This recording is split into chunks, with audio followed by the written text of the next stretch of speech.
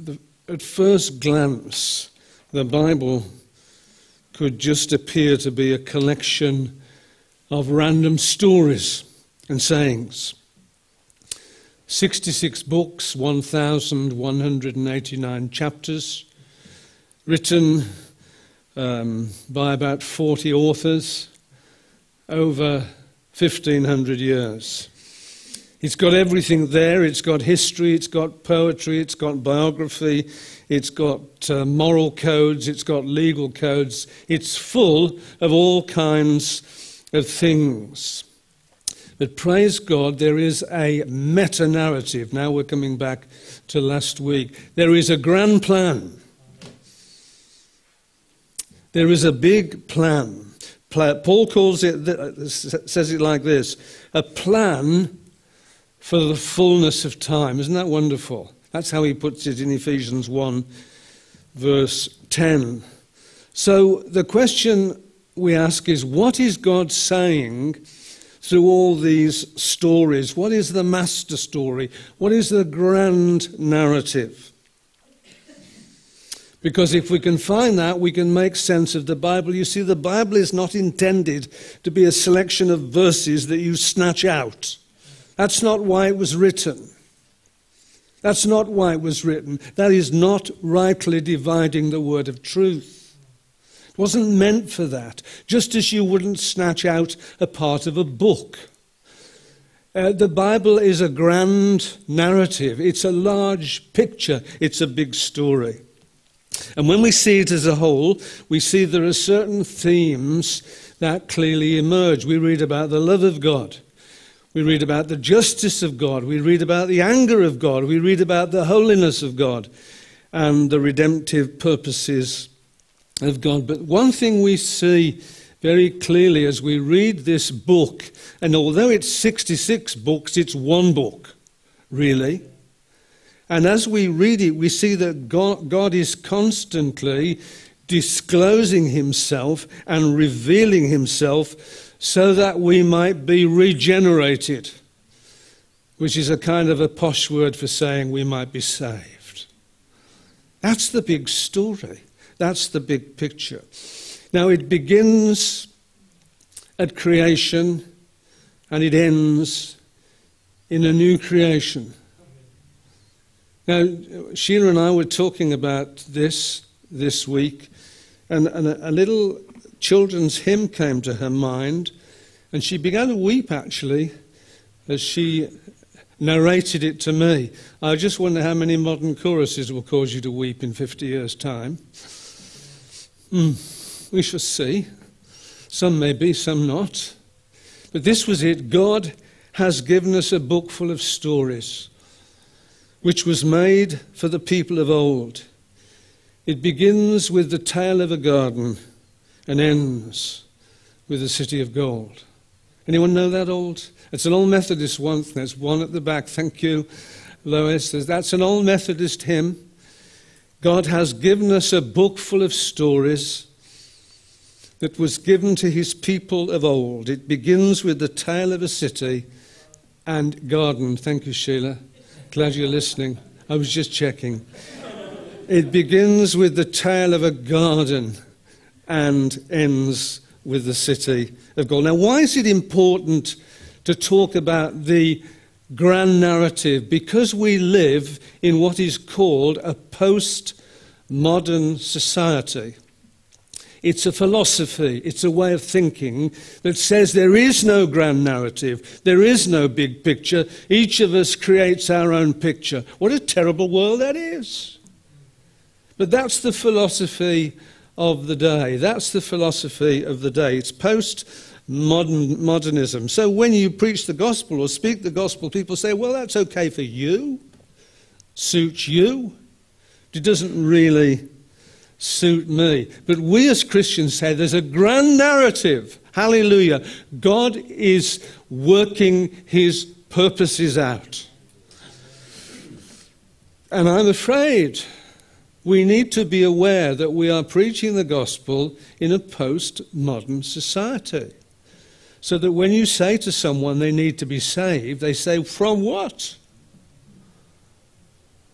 There's a necessity to speak of the grand truth. Now, I've spent time here over a period of months talking about this grand story from the point of baptism. We followed it through from Genesis into Revelation. But I want to, over the next few months, God willing, to look at this grand story under the heading of the kingdom of God.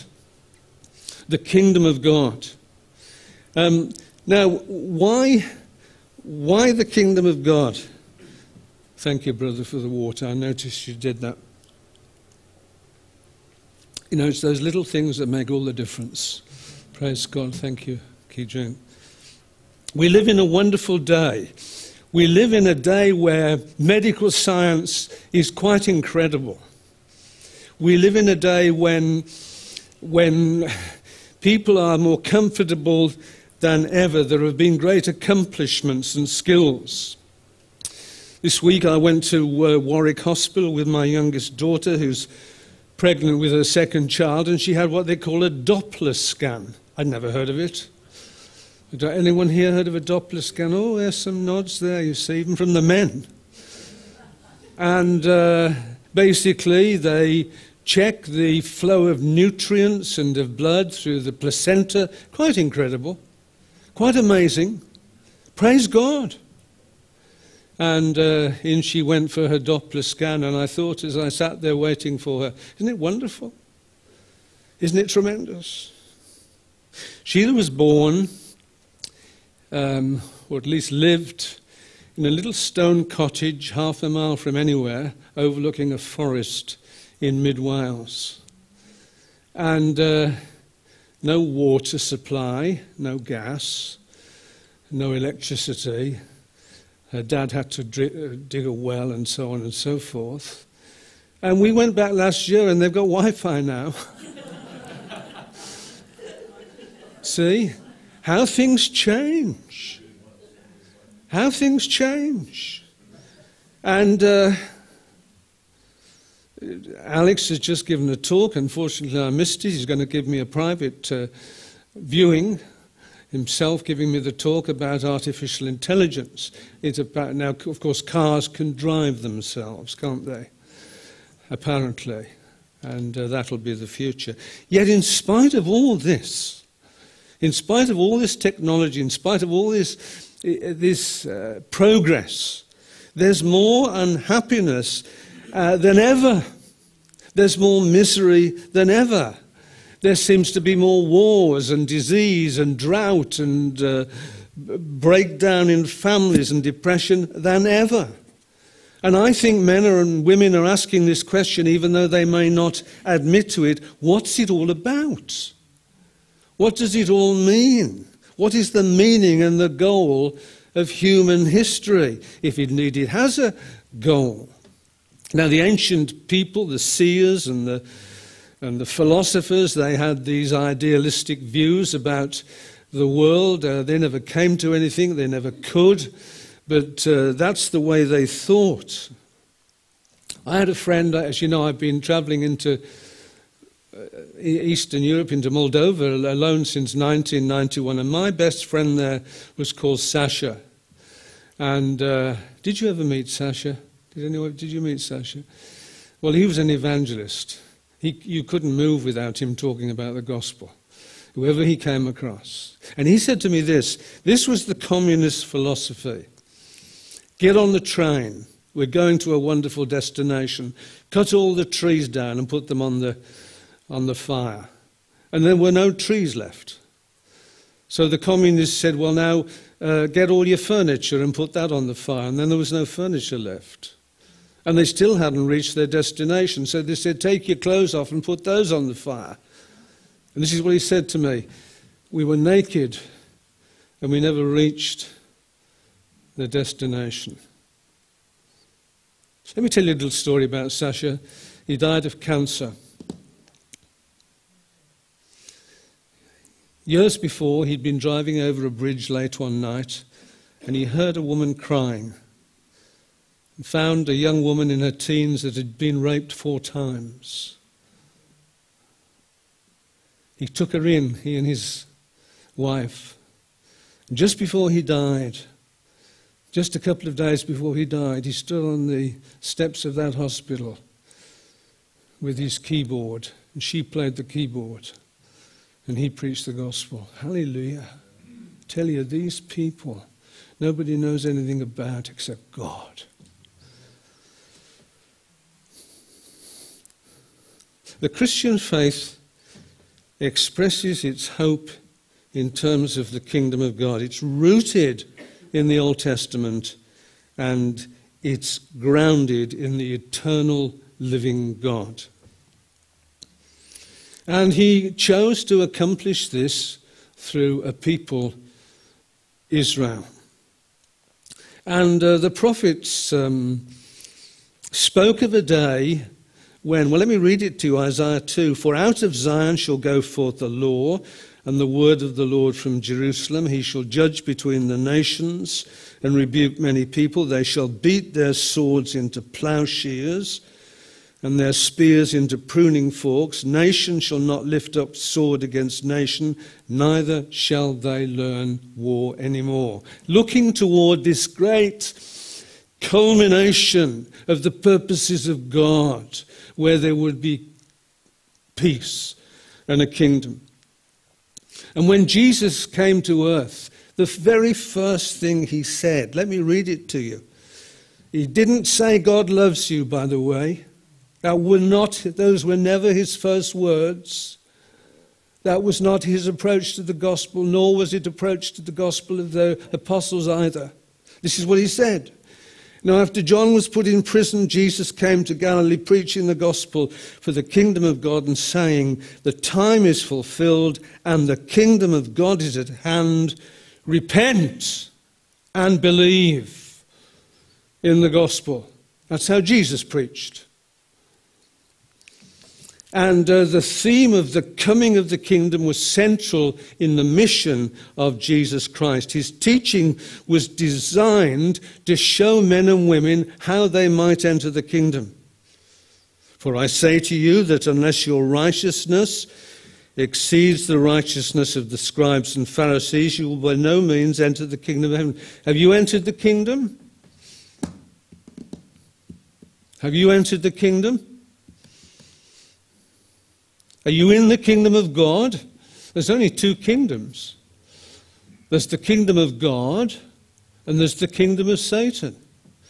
And Jesus came to tell men how they might enter the kingdom of God. His mighty works were intended to prove that the kingdom of God had come to them.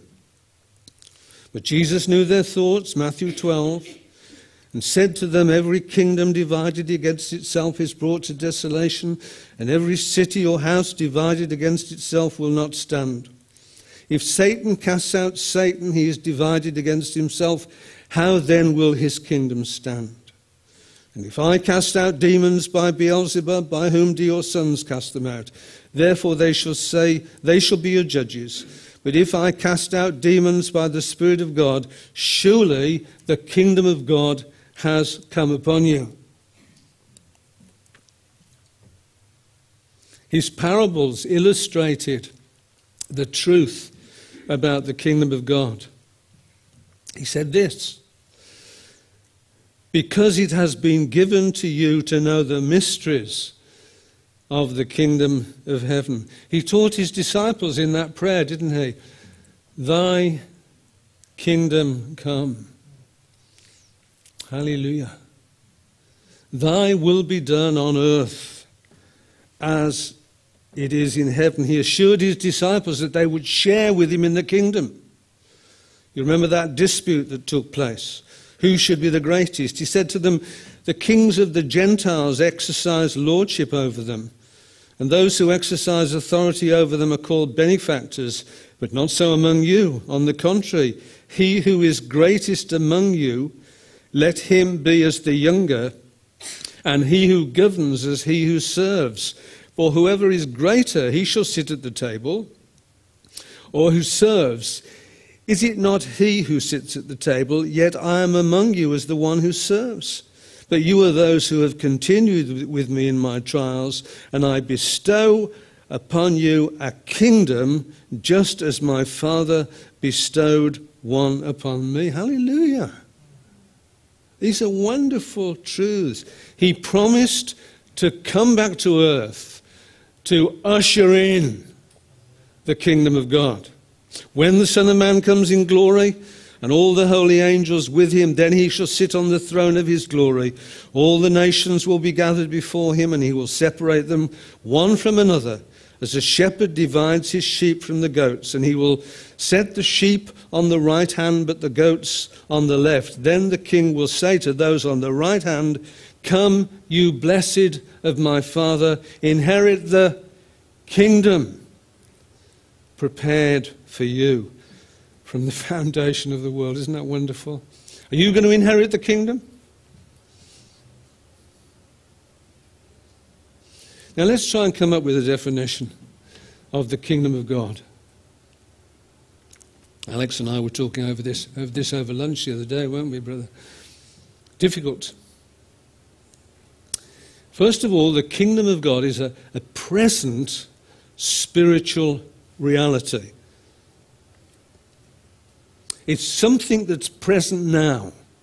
It's an absolute present reality. Now, when he was asked by the Pharisees when the kingdom of God would come, he answered them and said, The kingdom of God does not come with observation, nor will they say, See here or see there, for indeed the kingdom of God is within you. Oh, this is, this is good stuff, you know. The kingdom of God. Do you mean the kingdom of God is within me? Yes.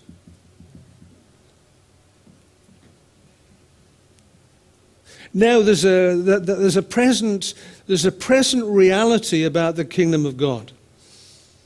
There's a future reality. God has promised the kingdom as an inheritance, which God will give to those who come after him. There's lots of scriptures I'm reading here. When the Son of Man comes in his glory and all the holy angels with him, then he will sit on the throne of his glory. All the nations will be gathered before him, and he will separate them one from another as a shepherd divides his sheep. And he'll say to the goats, You on this side. And he'll say to the sheep, You on the right hand side. What are you going to be? Which side are you going to be? Let me read it to you. And he will set the sheep on his right hand, but the goats on the left. And the king will say to those on his right hand, Come, you blessed of my father, inherit the kingdom for, prepared from the foundation of the earth. Which side are you on now? Goat or sheep? I mean, that's the reality. Hardly hear it. But that's the reality. Kingdom of God, kingdom of Satan. Goat or sheep, heaven or hell. Eternal bliss or eternal burning. The kingdom is a realm and a place where the followers of Jesus have entered. We're already in the kingdom, brothers and sisters. Isn't that wonderful? Doesn't that bring you some peace? In the, you know, Ki Jung was talking about all the things that beset us and worry us, and uh, we're in the kingdom of God this morning. He has delivered us from the power of darkness and conveyed us into the kingdom of the Son of His love in whom we have redemption through his blood, the forgiveness of sins. let's see if we can come up with some kind of definition in the light of all these kind of things. It's a present reality, it's a future promise, and it's an inner blessing which those who are redeemed possess. Let's put it this way the kingdom of God, his kingship, his rule, His authority. Now, you've got to receive this kingdom, you know that. I want to ask you a question Have you received the kingdom? I don't mean have you believed some facts now. The devil believes all the facts about the gospel. He knows them even better than we do. I'm not asking you to say, well, have you believed some facts? I'm saying, have you received the kingdom of God? They brought little children to him, he might touch them. But the disciples rebuked those who brought them. But when Jesus saw it, he was greatly displeased and said to them, Let the little children come to me, and do not forbid them, for of such is the kingdom of God. Assuredly, I say to you, whoever does not receive the kingdom of God, whoever does not receive the kingdom of God as a child, will by no means enter it. And he took them in his arms, laid his hands on them, and blessed them. Are you in God's kingdom? Is he, is he your king? Have you received him? Are you looking forward to a future kingdom? Are you praying, Your kingdom come? Actually, we could pray it for Shirley. Your kingdom come in Shirley, Lord. Your kingdom come to this congregation. Your will be done in this congregation, on earth even as it is in heaven. Hallelujah.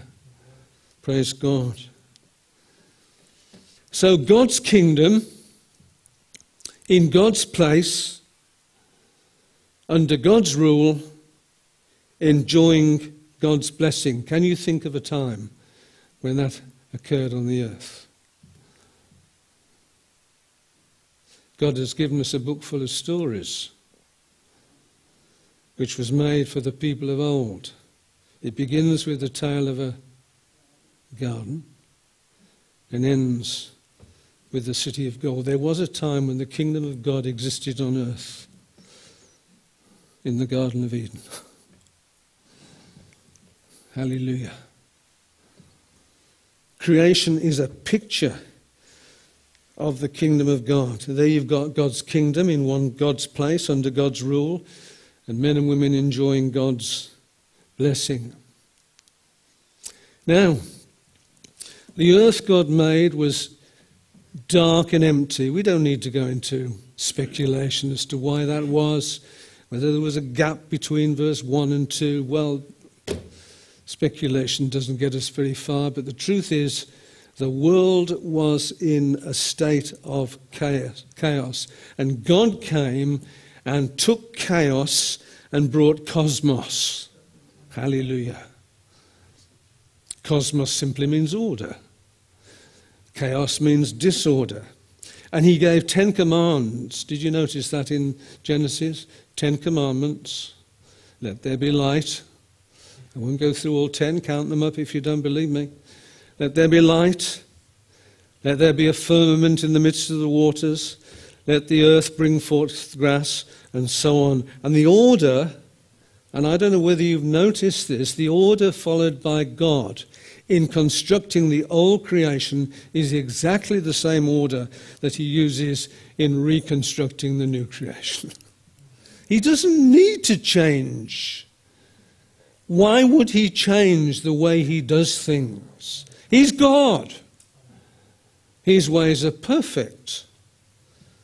Now, we know that men and women are vastly different from the way they were created. Created they were, of course, in the image of God. Adam and Eve had all their hearts could desire. They had everything. And God said of it, it was good. It was very good. You'll notice, by the way, that one day doesn't say good, and I'll leave you to determine why that is. That's a little bit of speculation, but never mind. He said of it all, it's very good. And then a dreadful catastrophe takes place in the form of a talking snake. The devil comes along in the guise of a snake and entices Eve, who subsequently entices Adam. Now everything's destroyed, the kingdom has perished. I'm not even sure that's the right word, perished because God's going to restore it. Actually, He's going to make it much better than Eden. We'll get to that in another week. Much better. But the kingdom, at least for the moment, is now perished. Now men and women under the curse of God. The peace, the peace, the joy, the blessings that were men and women were under, Adam and Eve were under, were now ruined. Now they're in darkness.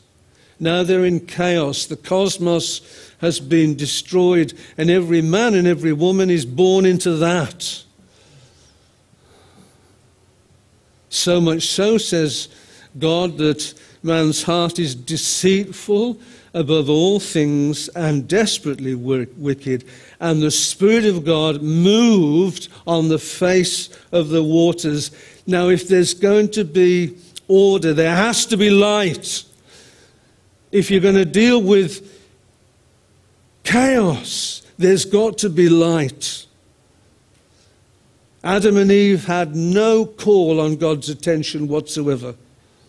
They were helpless, they were hopeless, they were. But God came in grace. And the first activity is the activity of the Holy Spirit. Hallelujah.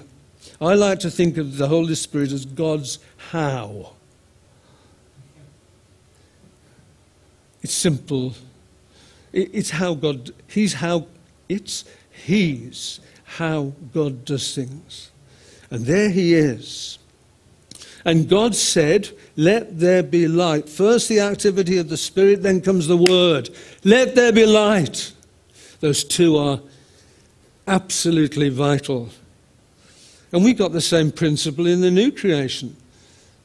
If you want to discover how wicked and deceitful your heart is, God has to shine a light on it and expose it about believing a few facts. God has to come by His Spirit and shine His light, and then you realize what a wretch you are. You come there? Or have you just believed something?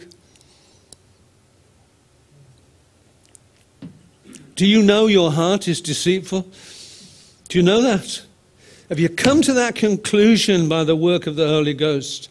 That your heart, your life, you're capable of taking the Son of God and nailing him to a cross.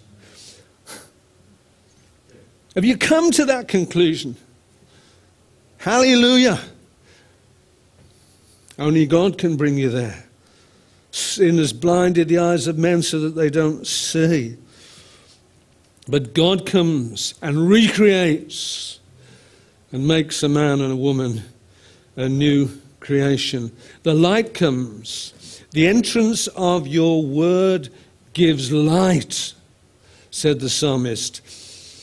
It gives understanding to the simple. Now, has your life been shown up for what it is? Chaos. And has God brought cosmos?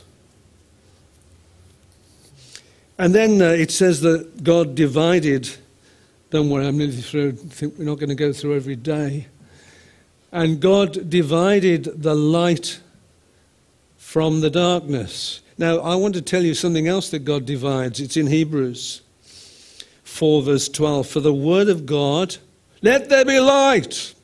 For the word of God is living and powerful, sharper than any two edged sword piercing even to the division of the soul and the spirit and the joints and the marrow marrow and is a discerner of the thoughts and intents of the heart. And there is no creature hidden from his sight but all things are naked and open to the eyes of him to whom we must give an account. Now we know that we are three parts. We are tripartite. Body getting old, feeling old, decrepit, struggling. Not all of us, of course. Just speaking about myself, that's all. Which makes us world conscious. I'm conscious of you, and you're conscious of me. I hope you're still conscious, by the way. Um, but uh, we're conscious. We've got a body. We've got a soul which makes us self conscious. We think We act, we, we have a will, we have emotions. That's our body. But our spirit is the highest form. The spirit is the means by which a man or a woman communicates with God. That's the highest form of a man. And when Adam sinned, that spirit wasn't annihilated, actually. But it lost its consciousness with God. There was no consciousness of God. It, it, it, it, it, it, it was moved, you might say, from the spirit to the soul, or rather, the spirit came down to the level of the soul. So now the soul isn't informed by God. It's informed by its own passions, its own will, its own desires. It's been separated from God. The highest form of man and woman is the spirit, that communication with God. Now, you might say, it's come down to the level of the soul. But I want to tell you this when God comes, He separates the soul from the spirit and restores that spirit to its proper place. That's what the Word of God does. So that now you're in communication with God. Now the communication with God is, is informing your soul how to live. Now you're hearing from God. Now you're reading His Word. Now the Spirit of, of, of you is the most important thing. Am I, am I making any sense? Praise God. Has that happened to you? God divided the light from the darkness. And then finally, day three, resurrection, was all water. And then suddenly, well, this is baptism, don't get me going now. Out of the water appears the earth on day three. Wouldn't you expect that on day three?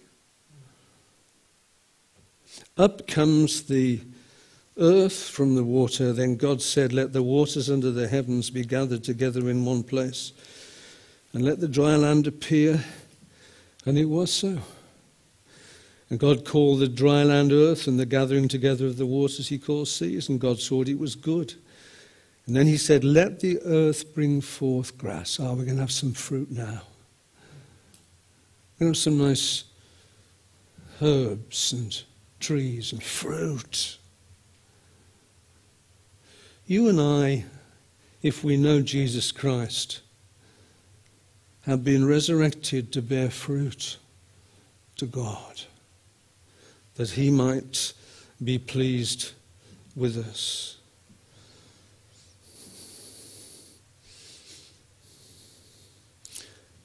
And finally, rest was the goal of creation.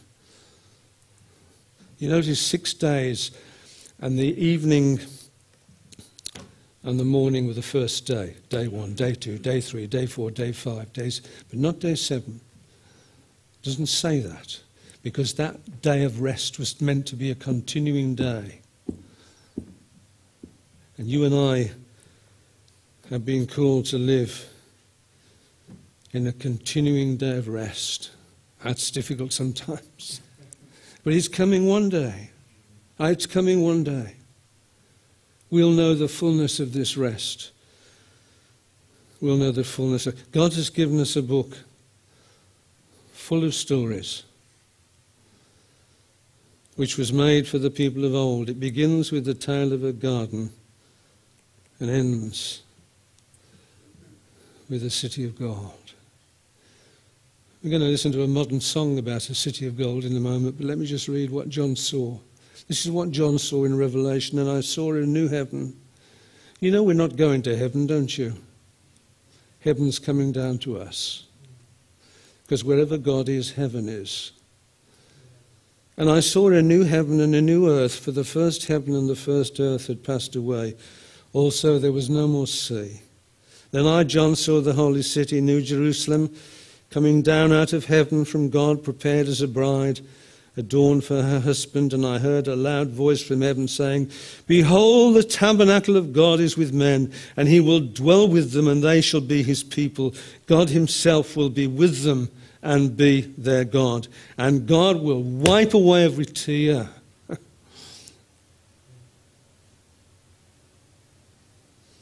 From their eyes there'll be no more death, no sorrow, no crying. There shall be no more pain, for the former things have passed away. Praise God. That's the goal.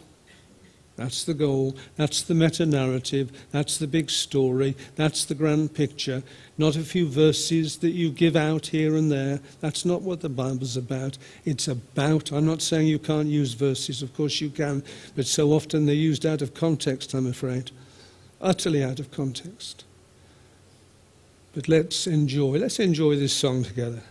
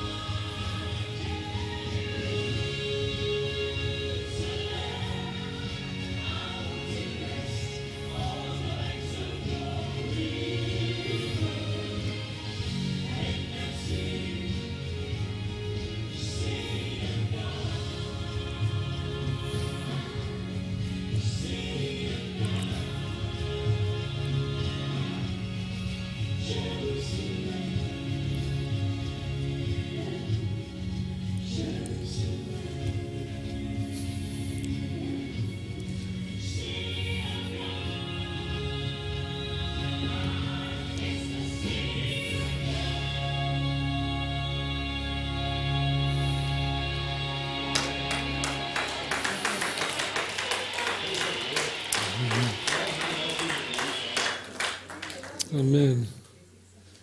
Father God, thank you so much that uh, your word said Abraham looked for a city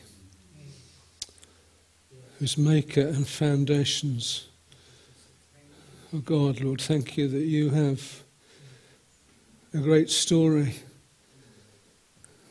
a great narrative, Lord, that you have prepared in eternity by covenant to bring, Lord, the people of God into this great city. Oh God. Hallelujah. Oh God. Thank you for this great hope that lies before those who have put their trust in you. Eternity, Lord, with God. no more war. No more worry. No more tears. No more death. Hallelujah. What a wonderful God you are. We praise you, Lord, and thank you in Jesus' name. Amen.